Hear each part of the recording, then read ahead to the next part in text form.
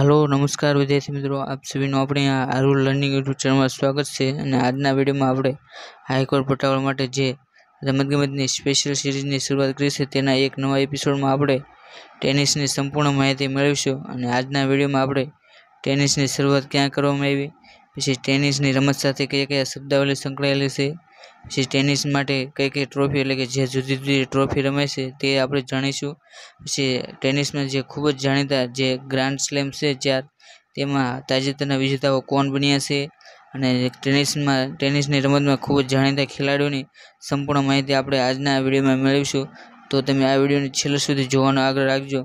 અને જો તમે હજી સુધી આપણે હાઈકોર્ટ પટાવળમાંને જે સ્પેશિયલ રમતગમતની સિરીઝ શરૂઆત કરી છે તેના બીજા ભાગ ન જોયા હોય, તો તમે તે પ્લેલિસ્ટમાં જઈને જોઈ શકો છો. અને જો તમે હજી સુધી આ વિડીયોની લિંક શેર ન કરી દો તો શેર કરી દો, જેથી જે કોઈ પણ હાઈકોર્ટ પટાવવાની તૈયાર રહેશે તેની આ વિડીયોની માહિતી મળી રહે. અને ત્યારબાદ અમે આગળ, આપણે વિડીયોને આગળ વધારીએ, તો કે ટેનિસ, એટલે કે જેની શરૂઆત ઇંગ્લેન્ડમાં કરવામાં આવી હતી. અને જો તમને પૂછે કે ટેનિસના પિતામહ તરીકે કોને ઓળખવામાં આવશે, તો કે ટેનિસના પિતામહ તરીકે મેજર હેરી જેલરને ઓળખવામાં આવશે અને જો ટેનિસના મેદાનની વાત કરીએ, તો ટેનિસનું સિંગલ્સ માટેનું મેદાન અઠ્યોતેર ગુણ્યા સત્યાવીસ મીટર હોય છે અને જ્યારે તેના ડબલ્સ માટેનું મેદાન હોય, તો કે તે અઠ્યોતેર બાય છત્રીસનું હોય છે. અને જો આપણે હવે તેની જાળીની ઊંચાઈની વાત કરીએ, તો કે જાળી એ જમીનથી ત્રણ ફૂટ ઊંચી રહે તે રીતે બાંધવામાં આવે છે. અને જો તેના રેકેટની વાત કરીએ, તો કે તેની રેકેટની લંબાઈ સાડત્રીસ ઇંચ હોય છે, તમે અહીં રેકેટ અને દડો જોઈ શકો છો. અને જો દડાની વાત કરીએ તો કે દડાનું વજન છપ્પન પોઈન્ટ સાત ગ્રામ હોય છે, જેનો પરિઘ છ પોઈન્ટ સાડત્રીસ સેન્ટીમીટર હોય છે અને તેના મેદાનને કોર્ટ તરીકે ઓળખવામાં આવશે.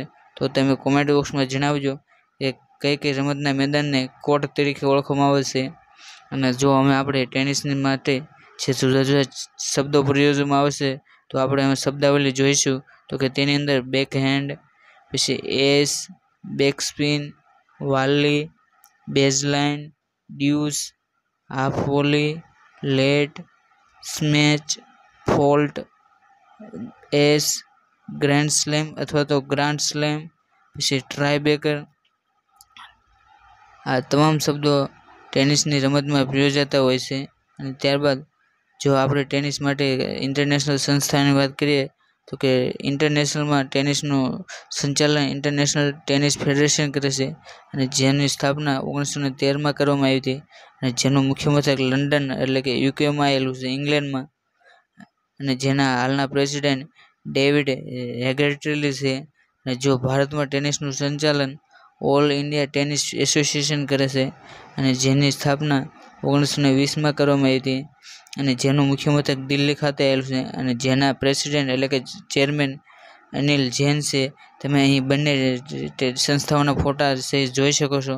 અને ત્યારબાદ આપણે ટેનિસ સાથે સંકળાયેલી ટ્રોફીની વાત કરીએ તો કે ટેનિસની અંદર ડેવિસ કપ તે ખૂબ જ જાણીતો કપ છે. અને ત્યારબાદ આવે તો કે તે પેડ કપ છે. અને ત્યારબાદ જો રાષ્ટ્રીય એટલે કે ભારતમાં ખૂબ જ જાણીતી ટેનિસ માટેની ટ્રોફી હોય, તો કે તે રાજેન્દ્ર પ્રસાદ કપ છે. અને ત્યારબાદ ચોથી કપ છે ટ્રોફી છે ઇન્ડિયન સેટેલાઇટ ઓપન ચેમ્પિયનશિપ જે પણ રાષ્ટ્રીય કક્ષાની છે. અને ઘણી હાઈકોર્ટ પટાવાળા અને હાઈકોર્ટની કોઈ પણ ભરતીમાં ઘણી વખત ટ્રોફીના આ ટ્રોફી કઈ રમત સાથે સંકળાયેલ છે, તેના સવાલો પણ પૂછાયેલા હોય છે. માટે તમારે આ કપ એટલે કે ટ્રોફી અને કપ એ ખાસ યાદ રાખવા. અને ત્યારબાદ અમે આપણે જે ટેનિસમાં જે ખૂબ જ જાણીતા ગ્રાન્ડ સ્લેમ ચાર યોજાય છે, તેની સંપૂર્ણ માહિતી મેળવીશું. તો કે ટેનિસની અંદર કુલ ચાર ગ્રાન્ડ સ્લેમ યોજાય છે. માટે તમારે અને આ ચાર ગ્રાન્ડ સ્લેમ એ જુદા જુદા મહિનામાં યોજાતા હોવાથી તમારે આને ક્રમમાં જ યાદ રાખવા અને જેની અંદર સૌથી પહેલો તો કે ઓસ્ટ્રેલિયન ઓપન જે જાન્યુઆરીમાં મને યોજવામાં આવશે અને જેનું આયોજન મેલબર્ન એટલે કે ઓસ્ટ્રેલિયા ખાતે કરવામાં આવશે અને જેની શરૂઆત ઓગણીસો પાંચમાં કરવામાં આવી હતી અને તેનું મેદાન એ હાર્ડ કોર્ટથી બનેલું હોય છે અને ત્યારબાદ બીજો ગ્રાન્ડ સ્લેમ જે ફ્રેન્ચ ઓપનના નામે ઓળખાય છે અને જે મે અને જૂન મહિનામાં યોજાય છે અને જેનું આયોજન પેરિસ પેરિસ ખાતે કરવામાં આવશે અને જેનો પ્રારંભ અઢારસો ને એકાણુંમાં થયો હતો અને તે ક્લે કોર્ટ એટલે કે માટીના કોર્ટ ઉપર રમવામાં આવે છે અને ત્યારબાદ ત્રીજો ગ્રાન્ડ સ્લેમ તો કે વિમલ્ડન ચેમ્પિયનશિપ અને જેનું આયોજન જૂન અથવા જુલાઈ મહિનામાં કરવામાં આવશે અને જેનું આયોજન તો કે લંડન એટલે કે ઇંગ્લેન્ડમાં યોજવામાં આવશે અને જેની શરૂઆત અઢારસો ને સિત્યોતેરમાં કરવામાં આવી હતી અને જે ગ્રાસ કોર્ટ એટલે કે ઘાસના મેદાન ઉપર યોજવામાં આવશે અને ત્યારબાદ ચોથો ગ્રાન્ડ સ્લેમ એટલે કે યુએસ ઓપન અને જે ઓગસ્ટ અથવા સપ્ટેમ્બરમાં યોજાય છે અને જેનું આયોજન ન્યુયોર્ક એટલે કે અમેરિકામાં કરવામાં આવશે અને જેની શરૂઆત અઢારસો ને એક્યાસીમાં કરવામાં આવી હતી અને જે હાર્ડ કોર્ટ ઉપર રમાય છે, તો હવે તમને આની ઉપરથી એવી એવા સવાલ પૂછાય કે કે સૌથી પહેલાં કયો ગ્રાન્ડ સ્લેમ યોજાય છે? તો કે સૌથી પહેલાં ઓસ્ટ્રેલિયન ગ્રાન્ડ સ્લેમ યોજાય છે અને સૌથી છેલ્લે કયો ગ્રાન્ડ સ્લેમ યોજાય છે? તો કે સૌથી છેલ્લે યુએસ ઓપન ગ્રાન્ડ સ્લેમ યોજાય છે અથવા તો તમે નીચેનામાંથી ગ્રાન્ડ સ્લેમને પોતાના મહિના પ્રમાણે ગોઠવો તો તેની અંદર સૌથી પહેલાં ઓસ્ટ્રેલિયન ઓપન, પછી ફ્રેન્ચ ઓપન, પછી વિમ્બલ્ડન ઓપન અને યુએસ ઓપન. આ ચારે ચાર તમારે ક્રમ પ્રમાણે યાદ રાખવા. અને જો તમને પૂછે કે સૌથી પ્રાચીન એટલે કે સૌથી જૂની ગ્રાન્ડ સ્લેમ કહેશે તો કે તે વિમ્બલ્ડન ગ્રાન્ડ સ્લેમ છે અને જેની શરૂઆત અઢારસો ને સિત્યોતેરમાં કરવામાં આવી હતી. અને ત્યારબાદ જો તમને એક સવાલ એમ પણ પૂછાઈ શકે કે કઈ ગ્રાન્ડ સ્લેમ એ હાર્ડ કોર્ટ ઉપર રમાય છે તો કે ઓસ્ટ્રેલિયન ઓપન અને યુએસ ઓપન એ બંને હાર્ડ કોર્ટ ઉપર રમાય છે. જ્યારે ફ્રેન્ચ ઓપન તે ક્લે કોર્ટ અને વિમ્બલ્ડન ચેમ્પિયનશિપ જે ગ્રાન્ડ કોર્ટ ઉપર યોજાય છે. હવે આપણે ટેનિસની રમતમાં જે ખૂબ જ જાણીતા એટલે કે જે ચાર ગ્રાન્ડ સ્લેમ યોજાય છે તેની માહિતી મેળવીશું અને તેની અંદર તાજેતરના વિજેતાઓ કોણ છે તેની અંદર મેન્સ અને વિમેન્સના સિંગલ્સના ટાઇટલની માહિતી મેળવીશું અને જે અવારનવાર પ્રગતિની પરીક્ષામાં પૂછાતું રહેશે. અને હાલમાં જ એક ફ્રેન્ચ ઓપન પૂરું થયું હોવાથી આ ગ્રાન્ડ સ્લેમ એ ખૂબ જ આઈએમપી ટોપિક બની જાય છે. માટે તમારે તે ખાસ યાદ રાખો અને અહીં આપણે તે ખેલાડીઓના ફોટા સહિત આપ્યું હોવાથી તે તમને સહેલાઈથી યાદ રહેશે તો કે જો સૌથી પહેલું ઓપન વાત કરીએ તો કે તે ઓસ્ટ્રેલિયન ઓપન છે અને જેનું આયોજન એટલે કે ઓસ્ટ્રેલિયાના મેલબર્ન સિટીમાં કરવામાં આવશે અને જેને મેન્સ સિંગલ્સના ટાઇટલના વિજેતા નોવાક જોકોવિચ એટલે કે જે સર્બિયાના હતા અને ત્યારબાદ જો વિમલ સિંગલ્સનું વાત કરીએ તો કે તે અહીંના સબલેન્કાએ જીત્યા હતા. અને ઓસ્ટ્રેલિયન ઓપન એ હાર્ડ કોર્ટ ઉપર રમાય છે. ત્યારબાદ બીજા બીજા ગ્રાન્ડ સ્લેમની વાત કરીએ તો તે તે ફ્રેન્ચ ગ્રાન્ડ સ્લેમ છે અને જેનું બે હજાર તેવીસના વિજેતા મેન સિંગલ્સમાં નોવાક જોકોવિચ એટલે કે જે સર્બિયાના ખેલાડી છે તે છે, જ્યારે વિમેન્સ સિંગલ્સમાં ટાઇટલ ઈગા નતેલિયાએ જીત્યું હતું અને જે પોલેન્ડના ખેલાડી છે અને ફ્રેન્ચ ઓપનને રોલાન્ડ ગેરોસ ચેમ્પિયનશિપ તરીકે પણ ઓળખવામાં આવશે અને જેનું આયોજન પેરિસમાં રોલાન્ડ ગેરોસ જે સ્ટેડિયમ છે તેની અંદર થતું હોવાથી તેને રોલાન્ડ ગેરોસ સ્ટેડિયમ તરીકે ગ્રાન્ડ સ્લેમ તરીકે ઓળખવામાં આવશે. માટે તમને જો પરીક્ષામાં એમ પૂછાય કે કઈ, કયા ગ્રાન્ડ સ્લેમને રોલાન્ડ ગેરોસ ગ્રાન્ડ સ્લેમ તરીકે ઓળખવામાં આવશે, તો કે તેની અંદર ફ્રેન્ચ ઓપન આવશે. માટે તમારે આ સવાલ ખાસ યાદ રાખવો. અને ત્યારબાદ તો કે જો ત્રીજો ગ્રાન્ડ સ્લેમની વાત કરીએ, તો તે વિમ્બલ્ડન ગ્રાન્ડ સ્લેમ છે અને જેની અંદર બે હજાર બાવીસના વિજેતા મેન સિંગલમાં નોવાક જોકોવિચ જે સર્બિયાના ખેલાડી છે અને જ્યારે વિમેન્સ સિંગલ્સનું ટાઇટલ એલેના રાયબેકીને જીત્યું હતું અને જે કઝાકિસ્તાનના મહિલા ખેલાડી છે અને વિમ્બલ્ડન ઓપન એ ગ્રાસ કોર્ટ ઉપર રમાય છે અને ત્યારબાદ જો ચોથી ગ્રાન્ડ સ્લેમની વાત કરીએ તો કે તે યુએસ ઓપન છે અને જે ન્યૂ, અમેરિકાના ન્યુયોર્ક સિટીમાં યોજાય છે અને જે હાર્ડ કોર્ટ ઉપર રમાય છે અને જેની અંદર મેન સિંગલ્સના વિજેતા બે હજાર બાવીસમાં મેન સિંગલ્સના વિજેતા કાર્લોસ અલ્કાઝરાજ, જે સ્પેનના ખેલાડી હતા, અને વિમેન સિંગલ્સ એટલે કે જે વિમેન સિંગલ્સમાં વિજેતા ઈગા નતાલિયા હતા, જે પોલેન્ડના ખેલાડી હતા. અને ફ્રેન્ચ અને યુએસ ઓપન એ અહીં આપણે બે હજાર બાવીસના વિજેતાની વાત કરીએ, કેમ કે બે હજાર ત્રેવીસમાં તે હજી સુધી યોજાયા નથી, માટે બે હજાર બાવીસના તે તમારે તાજેતરને યાદ રાખવા. અને જ્યારે ઓસ્ટ્રેલિયન ઓપન અને ફ્રેન્ચ ઓપન તે બે હજાર ત્રેવીસમાં યોજાયું હોવાથી તે તમારે ખૂબ જ આઈએમપી રાખવા, ખૂબ જ આઈએમપી હોવાથી તે તમારે ખાસ યાદ પાકા કરી લેવા.